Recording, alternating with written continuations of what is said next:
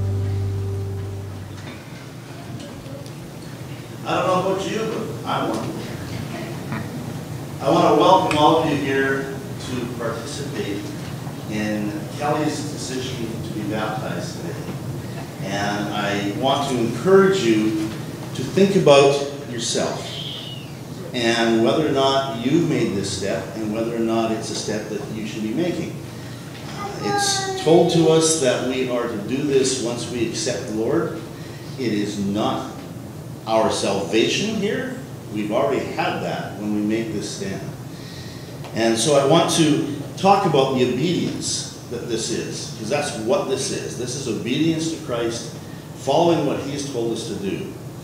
Um, this baptism here in this church we do by total immersion, and that's why there's water here and Kelli goes right under. And uh, we believe that that's what the Lord Jesus did, and we believe that's what we're supposed to do. Uh, in Matthew 3 13 to 17, it says, Then Jesus came from Galilee to the Jordan to be baptized by John. But John tried to deter him, saying, I need to be baptized by you. Do you come to me? Jesus replied, Let it be so now. It is proper for us to do this to fulfill all righteousness. Then John consented. As soon as Jesus was baptized, he went up out of the water. At that moment, heaven was opened, and he saw the Spirit of God descending like a dove and alighting on him. And a voice from heaven said, This is my Son, whom I love. With him I am well pleased. I like to think that every time somebody comes up out of this water, God says, This is my child, in whom I am well pleased. And that's what we're going to see today as we go forward. There's also the story of Philip and the eunuch, which is in Acts 8 35 to 38, and I want to read that to you. The eunuch asked Philip, Tell me, please, who is the prophet talking about, himself or someone else?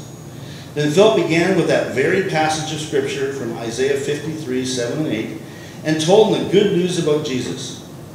As he traveled along the road, they came to some water, and the eunuch said, Look, here is water. What can stand in the way of my being baptized? And he gave the order to stop the chariot. Then both Philip and the eunuch went down into the water, and Philip baptized him.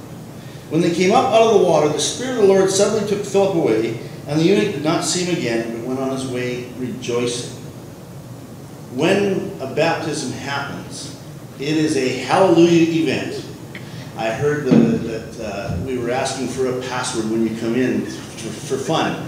Well, it's the word hallelujah, and you have to spell it. No, not. But that's what this event is. It's a rejoicing time. So when Kelli comes up out of that water, not only is she going to be excited for what she's done, but we should be rejoicing and celebrating with her. Because that's what it's really all about. Today, Kelli Nelson is telling you that she loves the Lord Jesus, that she's accepted his salvation, and she wants to go forward living for him. When we do a baptism, it is an outward sign of an inward change. It's already happened. All right? The decision is yours to make. And then the baptism, I like to say cements the deal. Uh, it makes it so that you, everybody knows. Accountability is what baptism is also about. Kelli being baptized is saying to you, she expects that you're going to help her grow and help her become a better Christian as she goes along walking with Jesus. So when she struggles, when she stumbles, when she has problems, our job is to encourage her and lift her up and keep her going. It's also her statement to you that she's going to do the same for you. And that she's going to be praying for you and being there when, when you need it. So let's rejoice with Kelli as we go through this baptism.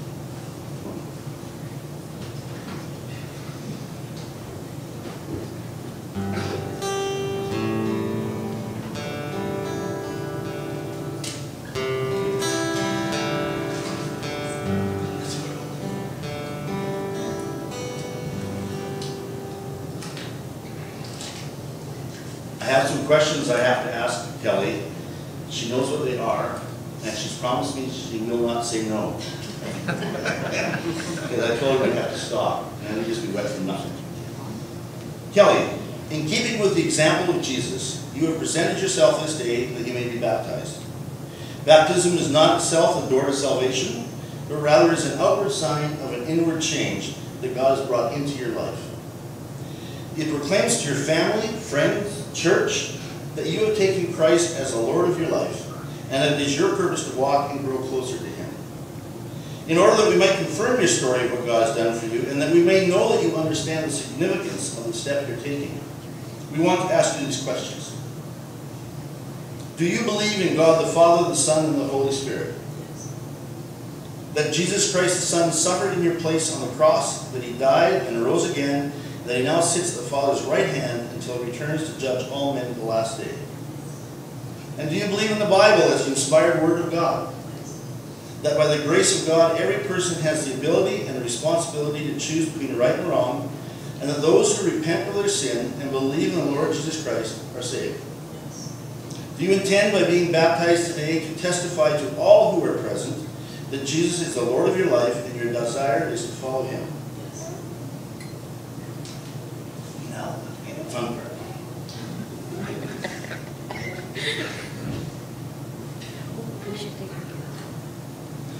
Kelli, it is my pleasure to do this. In the name of the Lord Jesus, I I now baptize you in the name of the Father, the Son, and the Holy Spirit.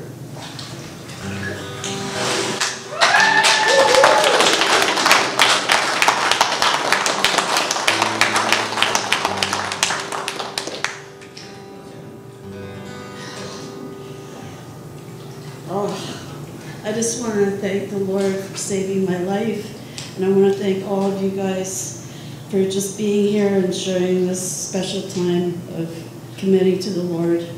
I just want to thank you for all your support here and um, oh, I just can't express how thankful I am to the Lord of what He's done in my life.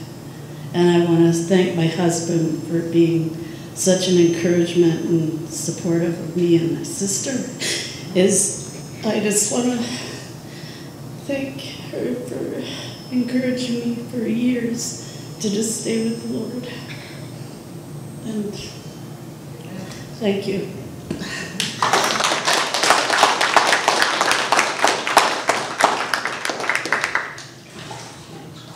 Kelli told me that the only way she would say anything is if the Spirit moved her, so I guess the Spirit moved. Carry on with the music, thank you. Let us continue to thank the Lord as we stand together.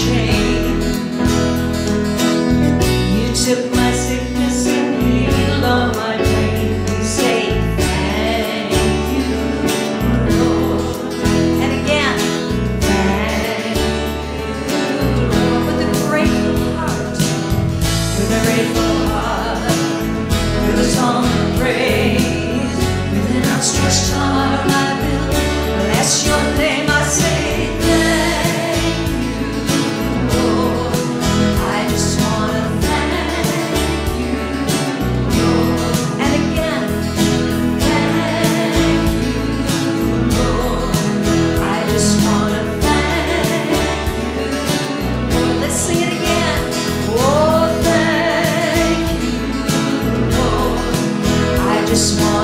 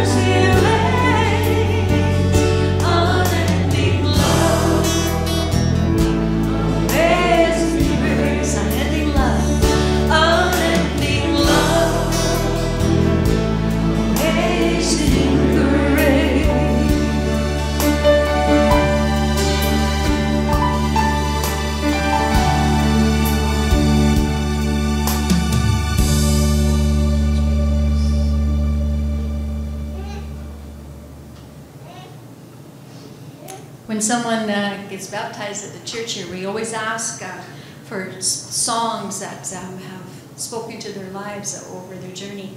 And this was one of the ones that Kelli had uh, requested. I give you my heart, and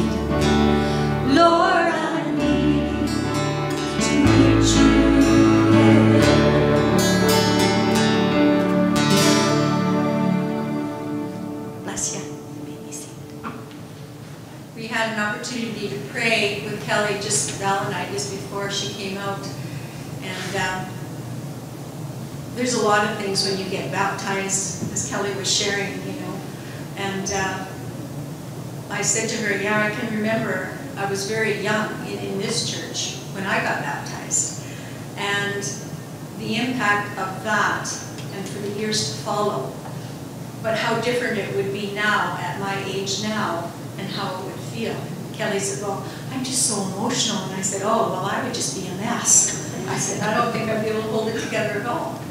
But you did really well. And I appreciate Kelli because she's so genuine. We've had the opportunity to draw close to Kelli and, and Al uh, with our fellowship group and Bible study and stuff. So it's, it's been a, a good time. And hopefully sooner than later we'll be able to rekindle that. So this morning I'd just like to uh, share a song for you, Kelli. And um, if there's anything that I struggle with, probably more so in, in my life, is my memory, of remembering things. Um, and as we get older, that just gets more and more great as we get older. But there's one thing I, I shall never forget, and that's the day that I did give my life over to the Lord. And uh, so my prayer for you is that be steadfast, acknowledge Him. And I think one of the most um, nearest and dearest scriptures that was given to me was to acknowledge Him, in all thy ways to acknowledge Him, and He will direct thy paths.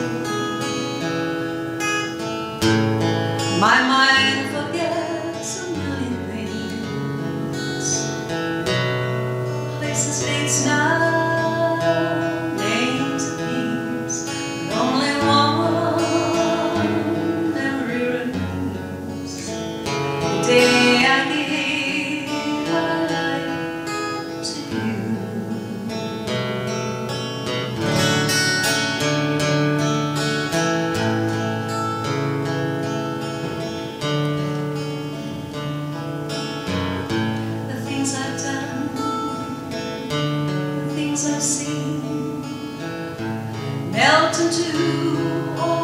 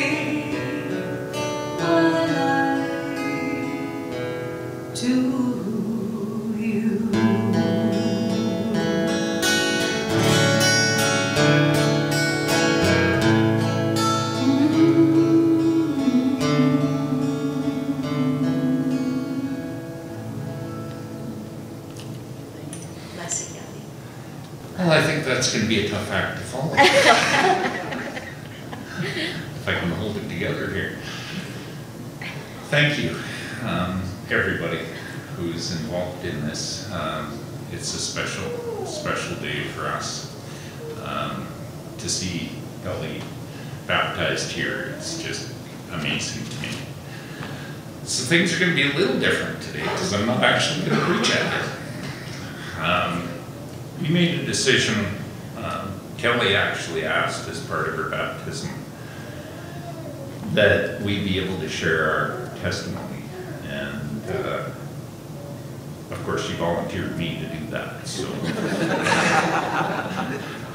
I was amazed, actually. She, she does not speak in public, so to hear her say what she did, I, I do believe that there was a movement of the Holy Ghost there, for sure. That's right. So I'm going to start off with just a little bit about me first. Um, I was born here in Dawson, as many of you know. I was raised in the suburbs, more commonly known as Pouce Coupe. So I was raised in an alcoholic family. Um, my father was, was an alcoholic. He quit drinking when I was 10 or 11. And uh, but the damage was done to my parents' marriage, and they split up shortly thereafter. Um, at the age of 14 or so, my mom started dragging me into church, and at the age of 15, I gave my life to the Lord right in this very sanctuary. Um, and the following spring, was baptized right behind me here. So that's the special meeting that I have with Kelli, and it's, it's something that just means an awful lot to me. Um, it so happens sometimes, in my late teens, I started to fall away from the Lord, and I can say without any doubt that He never fell away from me. He was always there. Um, after graduation, I decided there was a whole wide world out there, and doggone it, I was gonna go and see it. And uh, unfortunately, the money ran out in Prince George. So that's where I ended up. A couple years later, I was, uh, I was actually 20 years old, and a buddy of mine had moved down from, from Dawson to Prince as well, and we were gonna go fishing out by uh, Mackenzie. And somewhere between Prince George and Mackenzie Junction, we changed our minds and we decided to continue on up to Dawson and come for a visit. Unfortunately, we never made it. We uh, left the road um, just before the Heart Lake turn off by Mount Memorial at 140 kilometers an hour. The car went sideways into the ditch and hit a big boulder about three feet in diameter right behind the passenger front wheel. And according to police and RCMP, or the ICBC reports, that's when I was ejected. I wasn't wearing a seatbelt. I was thrown some 250 feet down the ditch ahead of the car. Um, Takeoff was okay, landing hurt. Um, I was pretty busted up. The fact that I survived it was nothing short of miraculous. There was no possible way. That stretch of road actually to this day is actually a no stopping avalanche zone. So there, the ditch was littered with boulders. When I woke up, which was amazing, I woke up, I was laying between two boulders as if I'd been there. Um, I spent the next year and a half recovering from that. And you would think that would be enough to send me running back to the Lord. But it didn't. Um, it actually almost had an opposite effect on me. I began feeling somewhat invincible for some reason. It wasn't until several years later that I got married, um, had a little boy, and two years later was separated, and my little boy was gone from me. I couldn't see him every day. It took me to the point of almost suicide.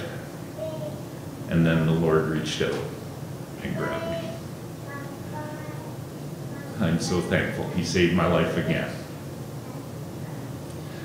But then I had a problem because I couldn't really justify signing the divorce papers. So I lived for the next seven years, neither single nor was I married. I was caught in between in limbo. Looking back on it, I can see easily that the Lord, He knew exactly what I needed, and I needed every bit of that time to get my own life in order, in order to be able to move on. Um, it was it was an extremely difficult time.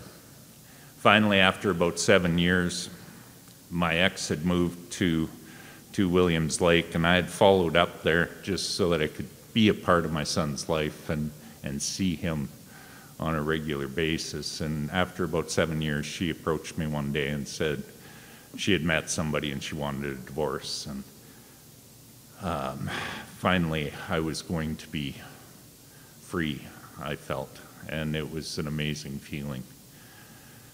About the same time, a friend of mine from the First Baptist Church in Williams Lake approached me and said, You know, I know this lady. She's a Christian.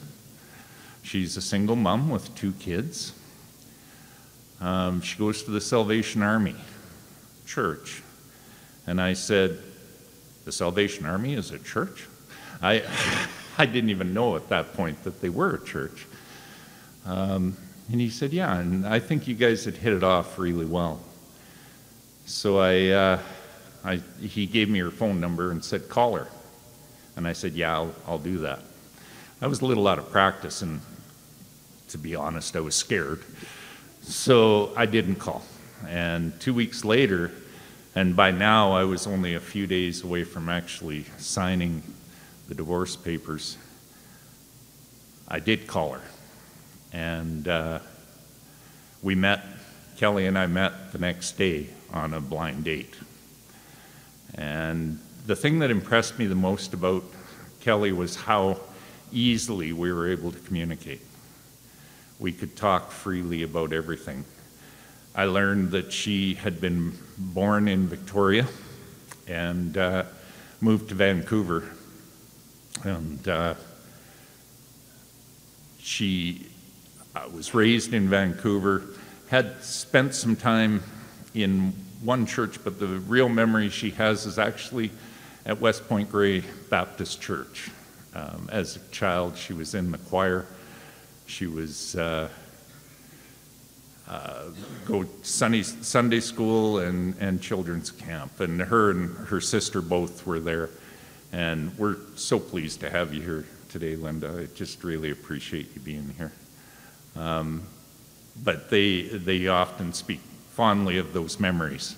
And it's funny, Linda mentioned actually that after 53 years, Kelli has come full circle and she's back in a Baptist church, which is kind of cool actually. So we, we met and she played hard to get for a while. Um, but eventually I, I was able to show her the error of her ways. And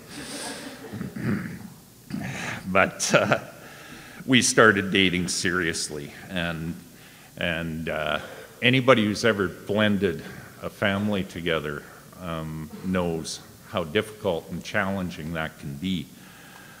Uh, it was no different for us. Of course, I had my son from a previous marriage. Kelli had two kids from a previous marriage. So we spent, we really took our time. It was a couple of years. I was fortunate to have um, my stepdad actually once said to me some words that I never forgot. And they were this they, He said, I'm not your dad, and I'm not going to try to be your dad. But if you'll allow me to, I will always love you as if you were my son. And I never forgot those words, and they really stuck with me, and I really tried to live up to what he gave me. Um, the same with Kelli's kids, and and it was it was tough, but we were finally on December just before Christmas, 1998. I got down on one knee and asked Kelli to marry me, and there's some debate as to whether she said yes or not, but I got a ring on my finger that says she did. So she brings this up once in a while. Um, but she never actually said yes. Um, hey, what can I say? Uh, so then we started planning a wedding. And uh, the Salvation Army in Williams Lake at that time was just a, a rockin' church. Um, how Kelli ended up back at the Salvation Army is actually a really neat story. She ended up living in Williams Lake, and one of her kids, Crystal, met one of the officers from the Salvation Army's kids, and they became best friends. And it's neat how the Lord just used that to bring Kelli eventually back to the Salvation Army. Um, Crystal began attending Sunday school, and then Gary was right behind her. And then uh, soon enough, Kelli was attending church there as well. Uh, just, but that was the Beveridge family was their names. But then a young couple by the name of of Danielle Strickland and Stephen Court took over. Danielle um, is, they're both just dynamic speakers and they both are uh, amazing musicians. And they had that little church just hopping. It, it kind of reminded me of the old Solomon days, you know? it just really did. It, it was, that place was jumping and it was full and there was just it was really a, a neat place to go to church. And so she converted me. She drugged me away from the Baptist, and, and uh, I started attending the Salvation Army with her, actually. So when we were getting decided to get married, we asked Danielle to, to marry us, uh, which she graci- graciously said yes. So we had to, at that point, we had to go through the dreaded marriage counseling, which I don't know if anybody else has gone through that, but it's, it's so much fun. but at one point, we were, we were filling out a questionnaire, and we, we actually were put in separate rooms.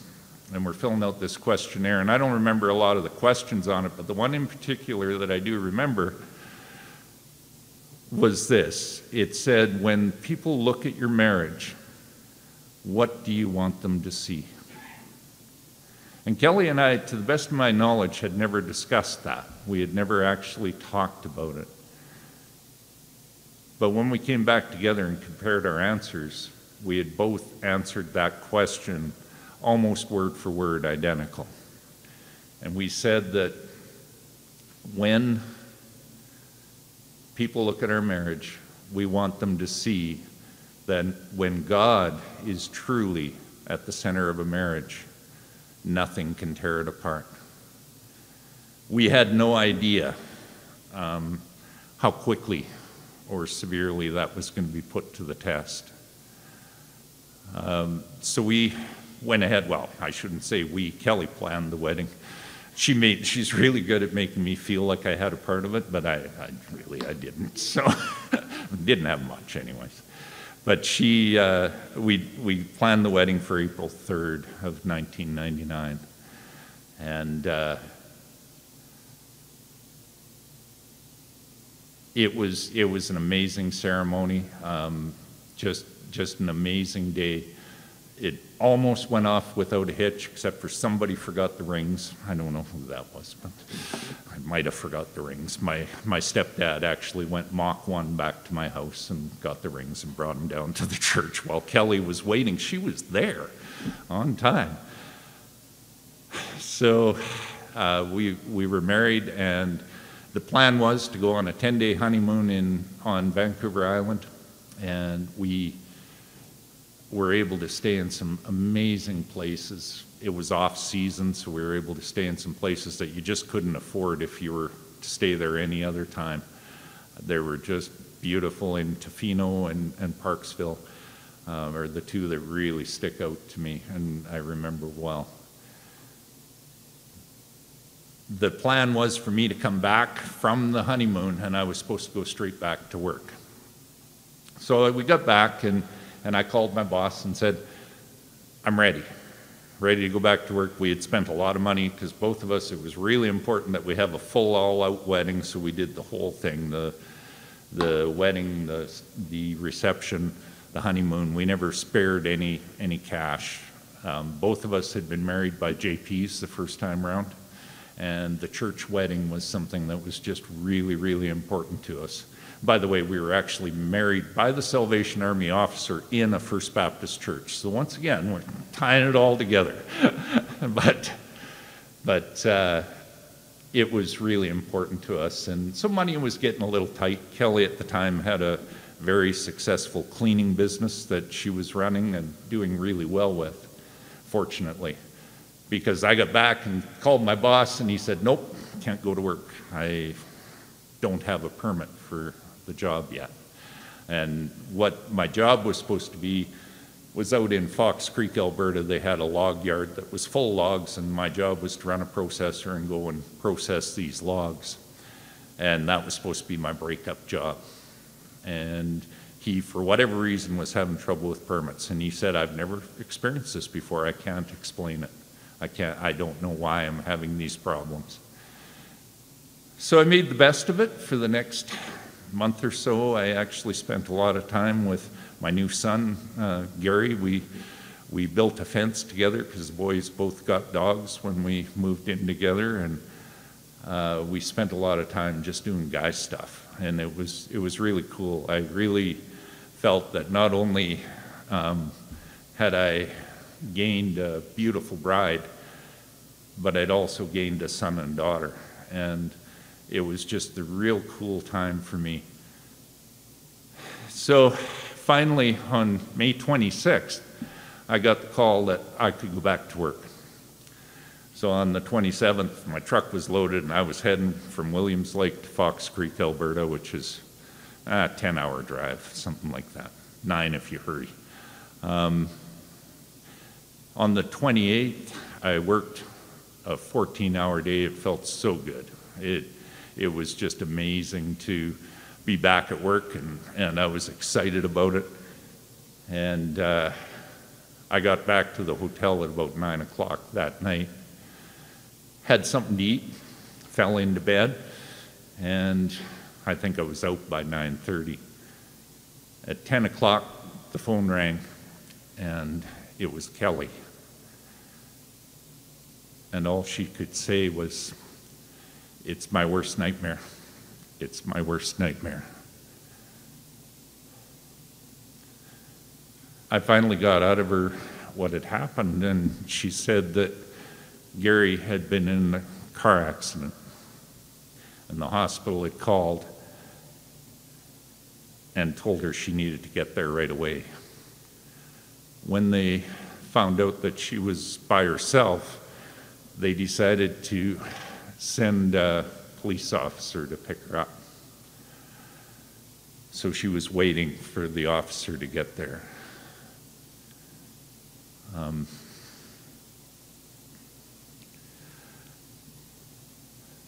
she kept saying, I don't know what to do. I don't know what to do. And all I could think of was call Danielle, the Salvation Army officer who had just married us. I said, call Danielle and then call me back. I threw my bag into the truck, turned out onto the highway, and put my right foot firmly on the floorboards. I actually learned that night that my truck was governed at 160 kilometers an hour. Um,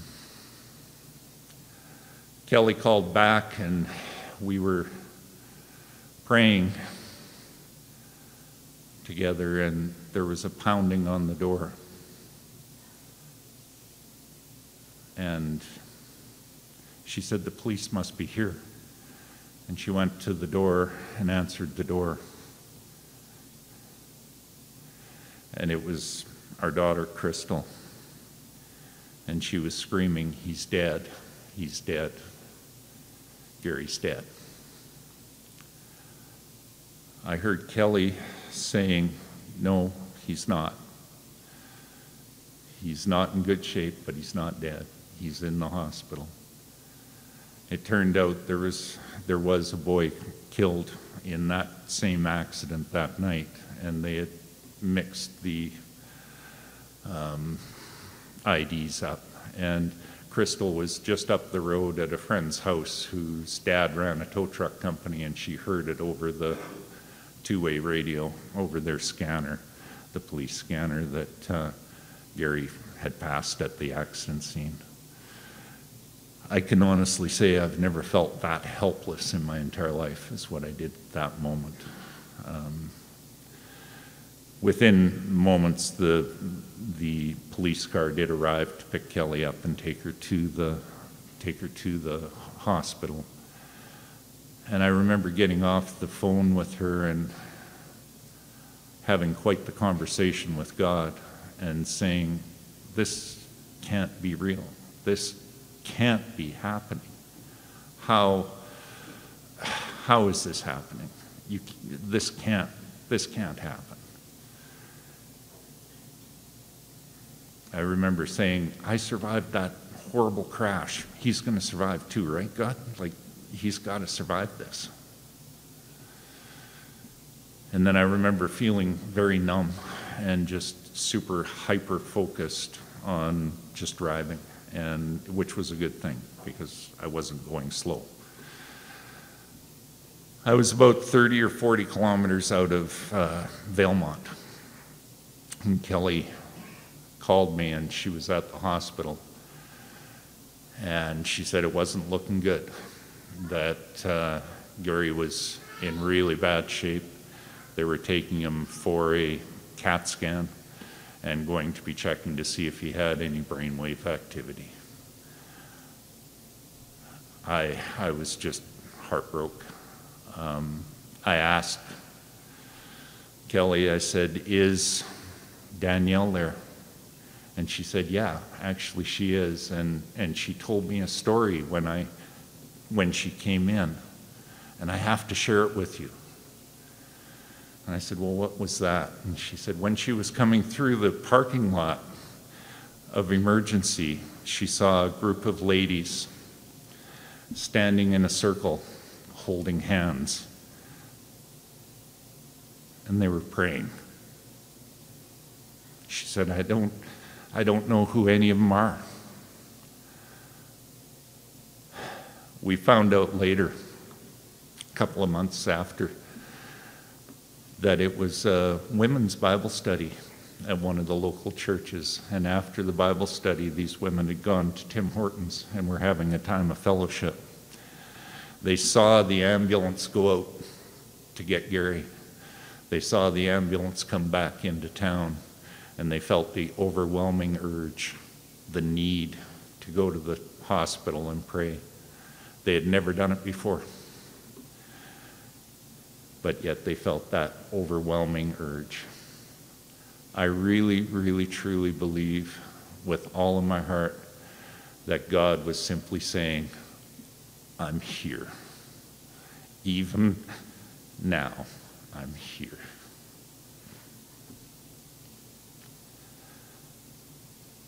After that, um, Kelli said, There's a victim services worker here that wants to speak with you.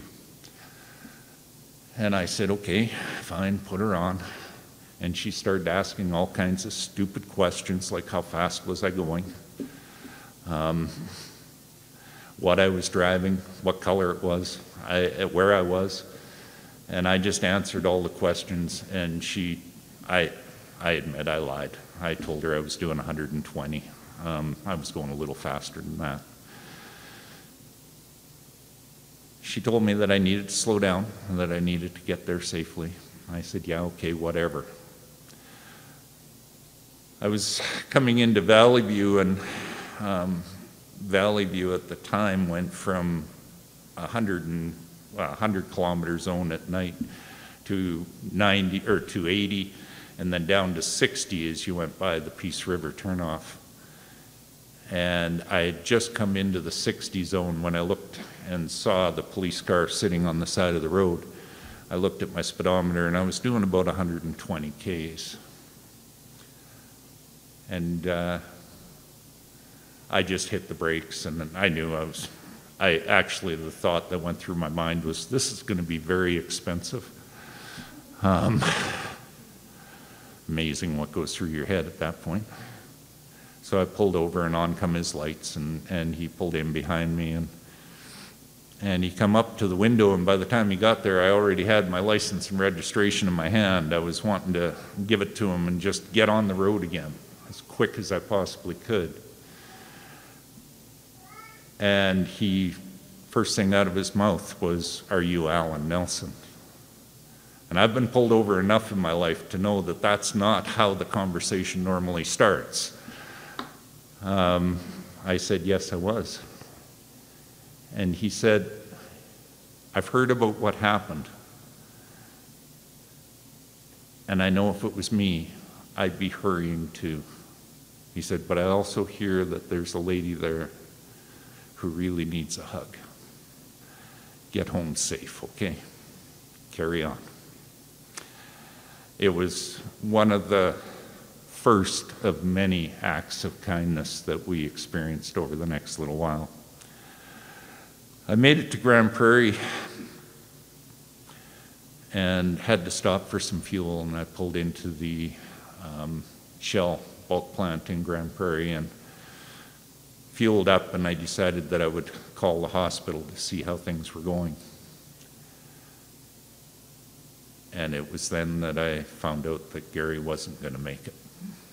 And Kelli and I had to have the conversation that no parent should ever have to have, and that's the one about organ donation.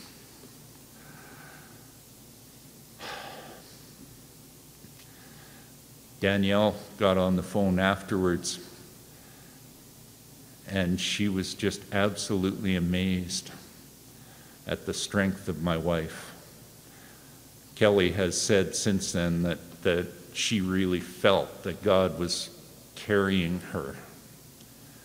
Because one by one, in small town, a lot of Gary's friends had showed up at the hospital, and one by one, she took each one of them in to say goodbye. Anybody who wanted to go. I, I think back on that and I think of the strength that that took. Um, and that shows you a little bit of who this person is that got baptized here today. She's got an amazing heart for God, and, and uh, the Lord carried her through that. When I left Grande Prairie, I was literally crying so hard I couldn't see the road in front of me. And at one point, there was a moose standing right in my lane. He was just standing there, hanging out, I guess. And I swear to this day that the brakes on that pickup applied before I have ever hit the brake. I don't know that, but it just seemed like I was being protected for sure. My dad at the time was living in Pouce, and uh, I called him Beaverlodge or so, and he insisted that I stop. I wasn't going to. My plan was just to keep it pinned and head for home. And but my dad, even at 70 years old, could stop me in my tracks if I, if he wanted to. And uh, so I did. And by the time I got there, my stepmom and him had had a bunch of sandwiches made up and a couple thermoses of coffee. And my dad actually drove me the rest of the way to Williams Lake that night. Um, we spent most of the next uh, week planning a funeral. And for a 16 year old boy which is difficult to say the least. Um,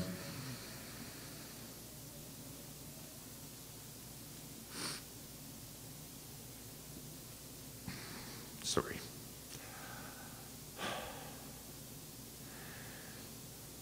So, in that week, one of the great things that happened during that week was we our we had a big house at the at that point. We had we had three kids between us that were there all the time and, and family all the time. And so our house was quite big and family started arriving from out of town. And of course there was three different four different families involved and everybody started coming to our place.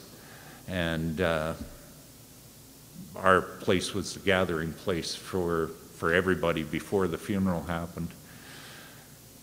One of the coolest things that happened was one, one morning, I think it was day two or three, there was a phone call, and it was one of the ladies from the church, from the Salvation Army, and she said, How many people are at your house today?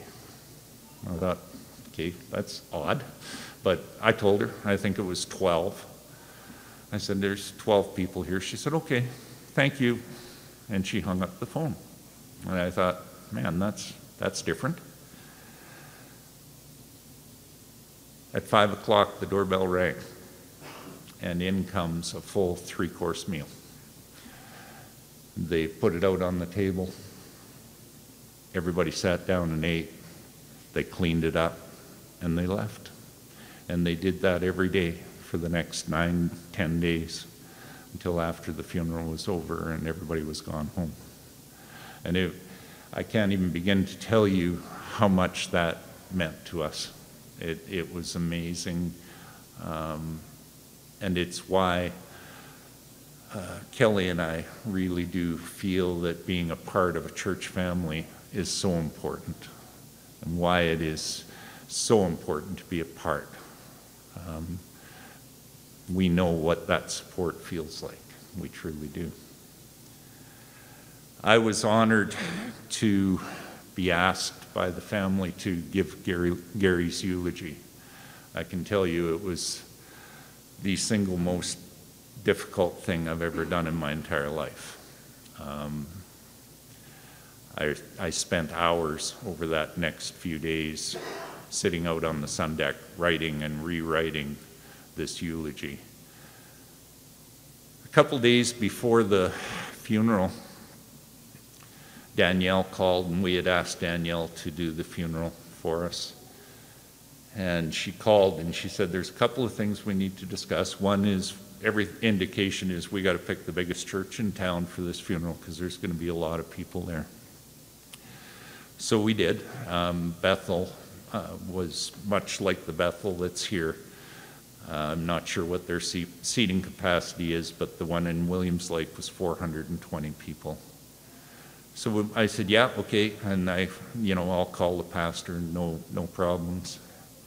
And she said, the other thing is, she said, I may never in my career get to speak to this many kids in one place at one time.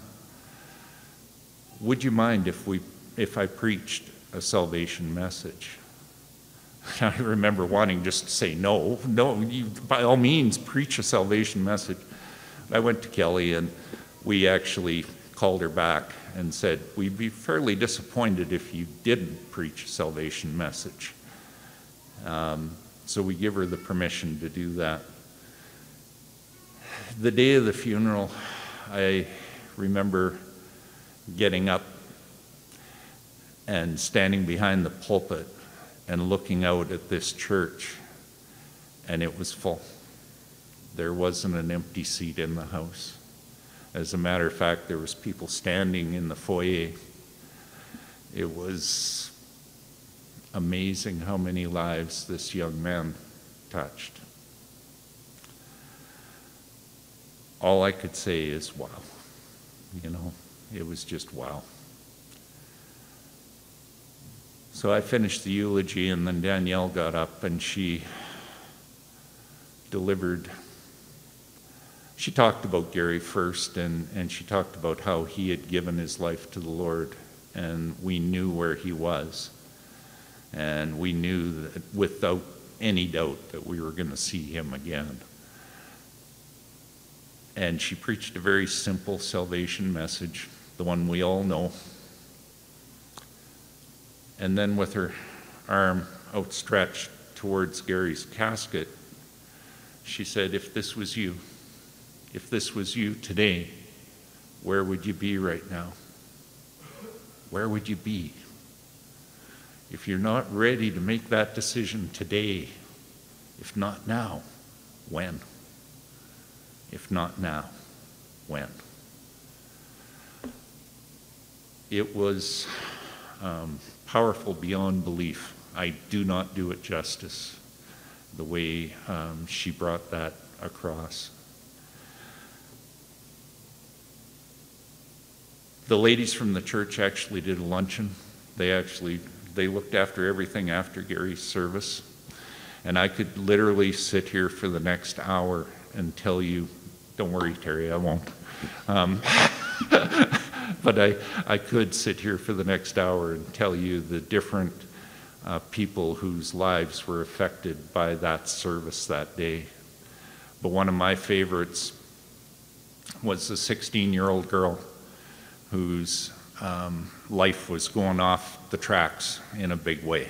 Her parents were Christians, but she was heading down some pretty rough road.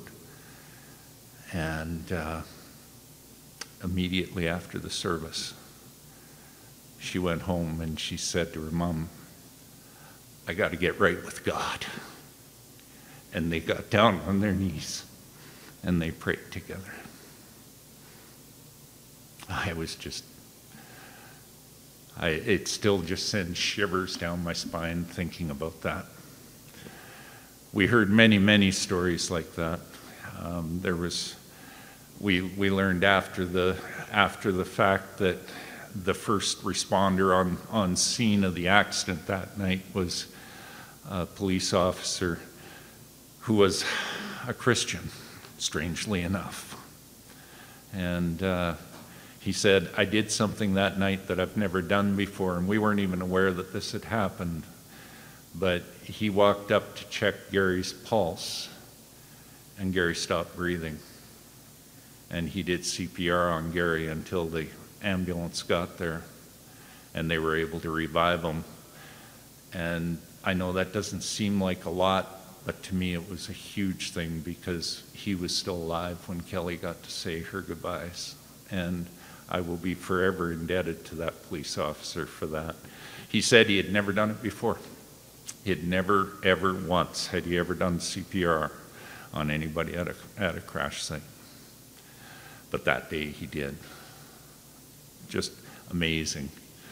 Another one of my favorite stories, and I'm going to wrap it up here, but one another one of my favorite stories was we walked out of the bank one day, and uh, we got used to people seeing us and doing an about face, and they would go the other way. They, they literally would just turn and run. They didn't want to talk to us, and I get it. I, you know, what do you say, right? Like it, it's hard. It's it's they weren't bad people. I'm not saying that by any means. They just didn't know what to say.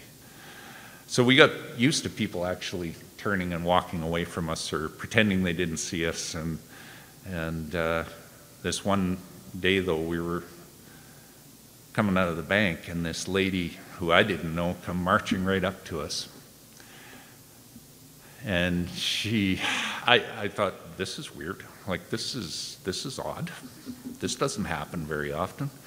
It turns out that she was a lady that Kelli had been taking some classes at the college with. And I didn't know her at all. But one thing, if any of you haven't had the opportunity to talk to my wife, you don't have to talk to her very long before the Lord starts coming into the conversation. Like it's just, it's in her nature, it's who she is. The Lord just bubbles out of her, and I'm thankful for it. So apparently, she had been witnessing to this lady in this class. So this lady come wa- marching up and, and looking Kelli right in the eye and getting right into her space. She said, You know, you told me that you prayed for your children's safety every night. What happened? I can honestly say I have never hit a woman in my life, But so help me, I wanted to lay her out. Like I was ready to punch her in the nose. And I felt Kelli squeeze my hand. She was holding my hand and she squeezed my hand, and it was a squeeze that said, I've got this. And she looked the lady in the eye and she said, and keep in mind, this is two months, less than two months after Gary died. She looked her in the eye and said, You know what? I can't explain this, but I have this overwhelming sense that maybe this was God's way of protecting him. Maybe this was, uh, maybe there was something so terrible coming that this was God's way of protecting them. I've never heard a greater statement of faith in my entire life than that. I, I thought, here is a mom in the throes of grief, and she never once wavered. Her faith never once wavered. I am so proud to call her my wife. Um, I'm going to wrap it up. I'd love to tell you guys that since then everything has been just peaches and cream. Uh, that wouldn't be true. We've, we've still had lots of ups and downs. But the one thing I know is that God is making us into the people, Kelli and I, and the couple that He wants us to be. And for that, I am so thankful. We've experienced these, these tragedies, but we've also been able to share with other people, other parents who are going through something like that. We've been able to help other people through similar situations. And the thing that I can say with absolute certainty, the one thing that I know beyond anything, is that when God, when He is at the center of a marriage, nothing can tear it down. Thank you.